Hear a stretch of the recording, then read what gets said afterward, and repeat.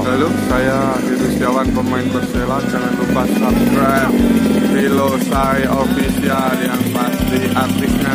Oh,